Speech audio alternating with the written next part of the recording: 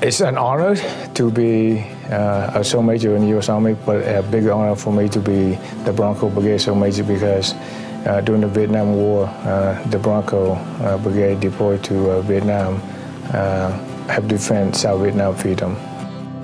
So I grew up in Vietnam, a little little rice hamlet in the Mekong Delta, about 45 minutes south of Saigon.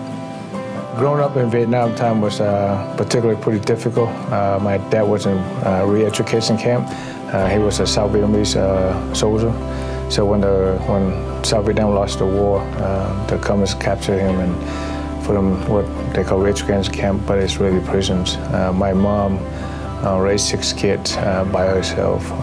So when my dad, when they let my dad go up to eight and a half years in prisons, there was, know, when he he, when he got home and looked around, there was definitely no future there for us. Uh, it took us uh, a few times to successfully escape out of Vietnam.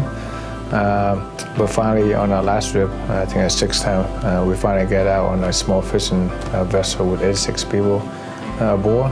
And it took us about 10 days. and you had to go with a mentality that if you want something, you got to work for it, whether it's just a little bit each day or go all in.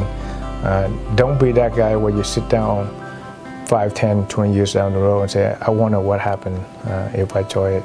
I wonder what happened if I went down this route.